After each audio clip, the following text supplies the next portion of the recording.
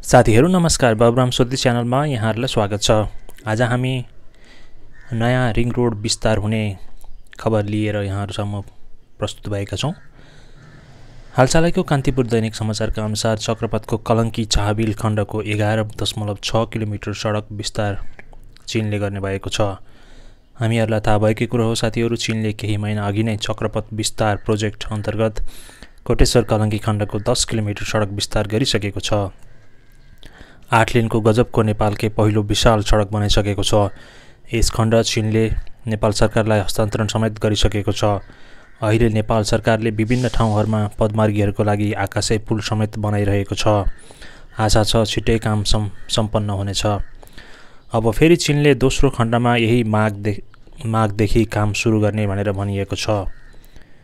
नेपाल सरकारका अनुसार अब केही दिनभित्रै रिङ रोडमा रुखहरू काट्ने रिङ रोड मिची बनाइएका घर टहराहरू भत्काउने बिजुली एवं टेलिफोनका पोलहरू सार्ने काम गर्ने बताएको छ।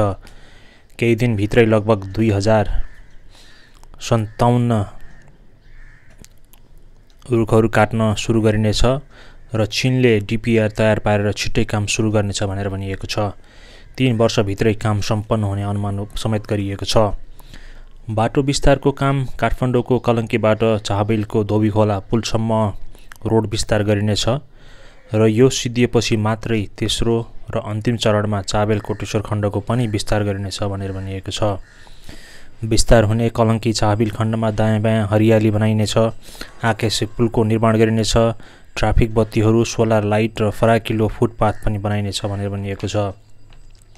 हामीले थाहा भएकै कुरा हो साथीहरू सुरुमै कोटेश्वर कलङ्की खण्डमा चाहिने जति आकाशे पुल ट्राफिक बत्तीहरू जेब्रा क्रसिङ सोलर लाइटहरू नहाल्दा अहिलेसम्म पनि पदयात्रीहरूले शास्ति खेप्नु परेको छ। दुर्घटना जोखिम बढेको छ। तसर्थ यसो हुन नदिन अब दोस्रो चरणको काममा धेरै नयाँ कुराहरू कन्स्ट्रक्सन हुने क्रममा नै गरिनेछ भनेर भनिएको छ। अब विस्तार हुने रिङ रोड क्षेत्र ज्यादै बिजी क्षेत्र हो। काठमाडौँको तसर्थ पैदल यात्रीहरूका लागि सीता पाइला स्वयम्भू वनस्थली बालाजु माछा पोखरी नयाँ बस पार्क गङ्गबु सामाखुसी वसुन्धरा महाराजगञ्ज चप्पल कारखाना र सुकेधारामा आकाशे पुल बनाइनेछ भनेर भनिएको छ। यस खण्डको विस्तार गर्नको लागि लगभग छ अर्ब लाग्ने पूर्वानुमान समेत गरिसकिएको छ। साथीहरू हामीले कोटेश्वर कलङ्की चक्रपथको विस्तार बाबुराम सोती च्यानलमा लगभग हरेक हप्ता जस्तो अपडेट गर्थ्यौँ। कन्स्ट्रक्सन सुरु भएदेखि अन्डरपासको उद्घाटनसम्म सुचारु भएको रिङ रोडको भिडियो सधैँ अपलोड गरि नै राख्यौँ। हामी धेरै हाम्रा धेरै सब्सक्राइबरहरूलाई यो कुरा थाहा छ। आगामी दिनहरूमा पनि दोस्रो चरणको यो चक्रपथको विस्तारको भिडियो हामी हरेक हप्ता दिने नै छौँ।